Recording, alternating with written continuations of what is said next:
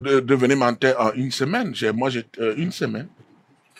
Tu prends de l'assurance, tu mens. Après, je suis passé de la théorie à la pratique. J'ai commencé à mentir en famille, quoi. Avec mes petits là, 3, 4 ans, non, non, naturellement, vite fait. Après, j'ai essayé de mentir à ma femme.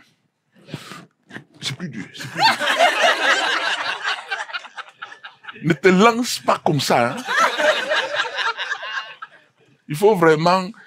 Un jour, quoi, j'avais de l'assurance, quoi. Donc, je suis arrivé nonchalamment. Parce que, parce que quand tu dois mentir, tu dois être nonchalant. Donc, je suis arrivé nonchalamment. J'ai dit, chérie, mon amour. Elle m'a regardé, elle a dit, tu mens.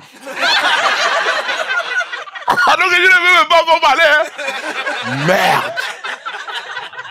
J'ai dit, cette femme connaît mentir Et puis après, non, je mentais avec les collègues. Ils me disaient toujours, pourquoi tu mens? J'ai dit, essaye de m'en sortir, lâche-moi. Et puis, et après, j'ai menti aux patients. Voilà. À l'hôpital. Parce qu'avec ces affaires de vaccination, non, ça c'est facile. Parce que les gens, les gens arrivent à l'hôpital. Monsieur, aussi pour le vaccin, c'est dangereux. Voilà, tu dis non.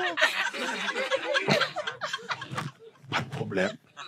Ils disent oui, mais on a vu, on a lu que des, femmes devenaient un peu stériles, tout ça, que des gens même meurent. Non, pas tellement. Ce sont des morts naturelles. Ah bon? Oui, mort du nourrisson. Et il avait 52 ans. Oui, ça.